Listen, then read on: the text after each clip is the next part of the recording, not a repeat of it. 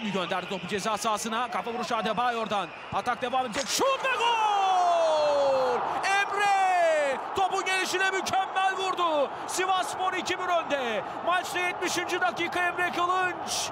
Topun gelişine harika, sert, çok düzgün bir vuruş.